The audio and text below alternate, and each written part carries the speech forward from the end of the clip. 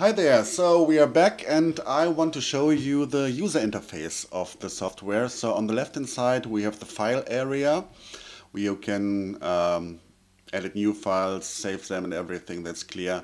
Um, second, we have the building part. So this is really the architectural part of the software with functions concerning walls, chimneys, up to uh, roof construction, dormer windows.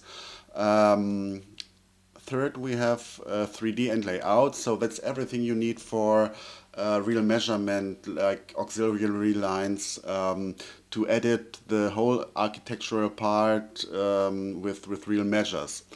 Um, 3D functions is clear. You can make uh, three-dimensional measurements, and uh, you can you can uh, make simulations like with a with the sun going by uh, the house.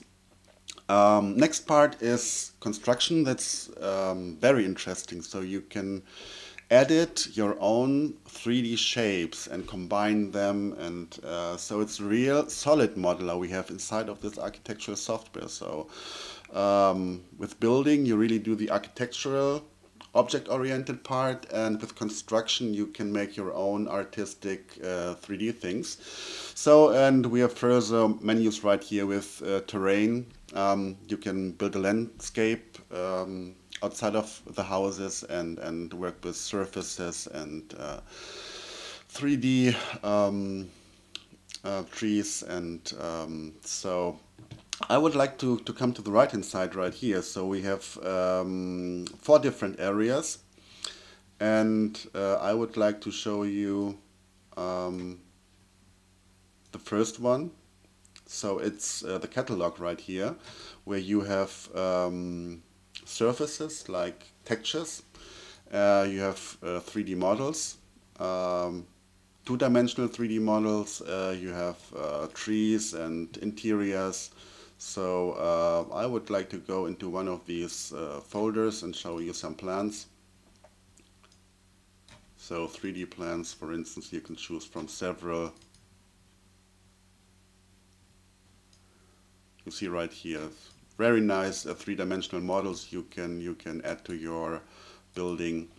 Um, then right here we have um, the structure of the whole building. So um, the software is object oriented.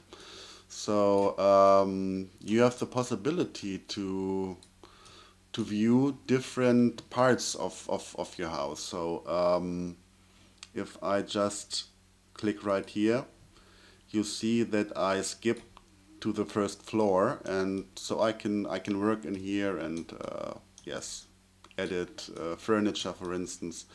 So that's basically uh, the structure of the software. So I will go into details uh, in the further uh, videos but uh, this is basically yes the user interface and I think it's really easy to handle so uh, you go all through this and you choose what you want to do next and uh, so that's how we work as well so I hope that's fine for you and hope you enjoy the other videos as well.